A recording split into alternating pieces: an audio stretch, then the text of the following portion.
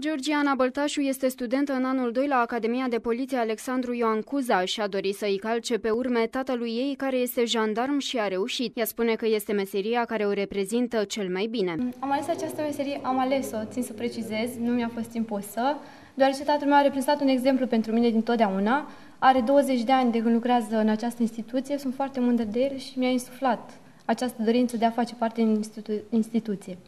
Practica cum este?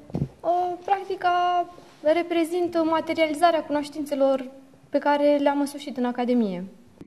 Studenții care sunt acum în practică la Inspectoratul Județean de Jandarmi spun că și-au ales această meserie pentru că este una în care cetățeanul de rând are încredere și pe care o respectă. Având în vedere că este al treilea stagiu de practică care le execut la această unitate, consider că este un stagiu normal din punct de vedere al desfășurării activităților. Am ales uh, arma jandar pentru că am fost uh, de mic un simpatizant al uh, acestei arme. Mi se pare o armă care încă mai are principiile fundamentale care, care respectă și consider că mi se potrivește foarte bine această, această meserie. Tânărul din imagine a dat piept pentru prima dată cu adevărata meserie de jandarm. Este student în anul întâi și speră să plece din practică suficient de pregătit. În primul rând am ales pentru că aceasta a fost dorința mea de mic.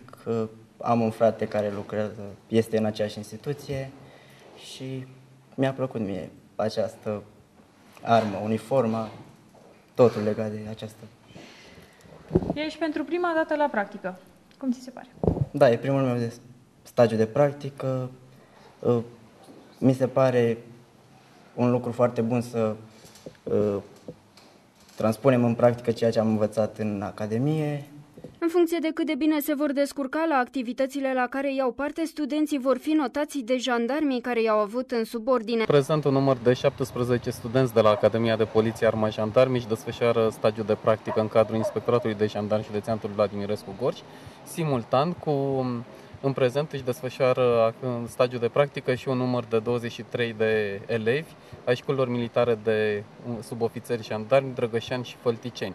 Aceștia își vor încheia stagiul de practică pe data de 15 februarie, iar studenții Academiei de Poliție până pe data de 1 martie când vor fi evaluați cu note care vor fi transmise în vederea materializărilor în cataloage Academiei de Poliție. Pe lângă acești studenți, în practică, la Inspectoratul Județean de Jandarmi se află și elevii școlilor militare.